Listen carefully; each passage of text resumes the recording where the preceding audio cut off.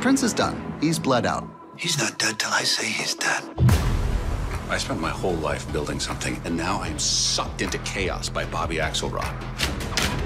You love the game. The chance to take someone else's power for yourself, especially if that power was coming from Bobby Axelrod. This is cataclysmic.